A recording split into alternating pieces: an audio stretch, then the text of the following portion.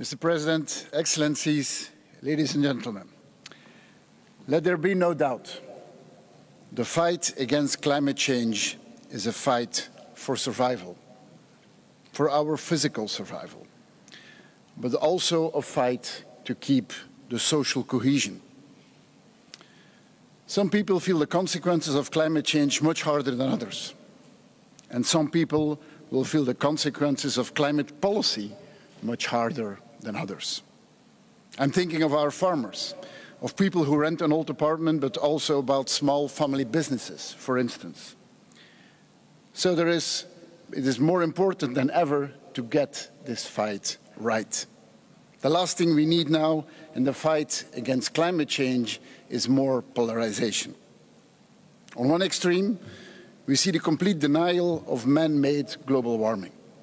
These people are sticking their heads in the sand. While on the other side, the other extreme, we see movements that are trashing buildings and trashing works of art. Don't get me wrong. I hear and understand the anxiety of people who are afraid we do not do enough. And I can reassure them, we will do more. More climate investment, more international financing. But I also hear the ones end, the ones who fear the personal burden of climate policy. What we need today are solutions that work for everyone. Yes, we need to be more ambitious, but we also need to take care of people. We should leave no one behind. And just like we don't need more polarization, we should also avoid resignation. Because people should know that today climate technologies are more promising than ever. Belgium comes to this COP with a sizable private sector delegation because they bring big solutions to the table. From offshore wind technology to green hydrogen to projects that will not only protect us against rising sea levels, but it can even turn the driest desert into an oasis again. And the really great news is every country is doing so, bringing their own solutions, bringing their own strengths to the table. That is how we reinforce each other. That is how we stop climate change. Together, North and South. And that is what this summit should be about. About connecting expertise with financing and ambition. And we are making quantum leaps in our climate policies as well. Just look at last year. From Repower EU to the Inflation Reduction Act in America.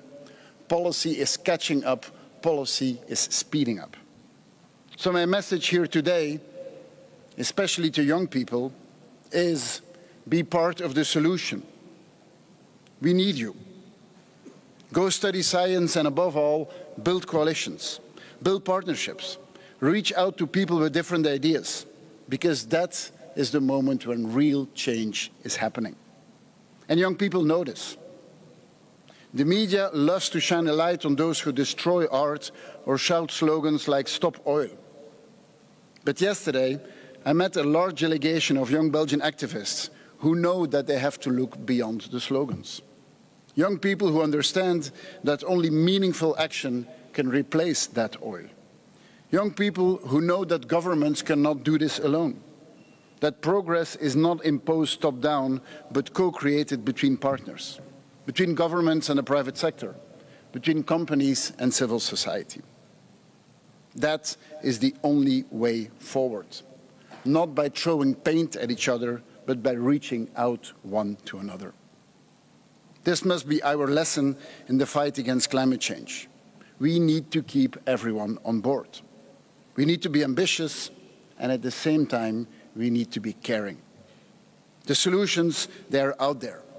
But that does not mean that the solutions will always be simple. In the words of the late Queen Elizabeth, it has always been easy to destroy to build and to cherish is much more difficult. The task ahead is not an easy one, but I am convinced that humanity can succeed once more. I thank you. Thank you, Your Excellency.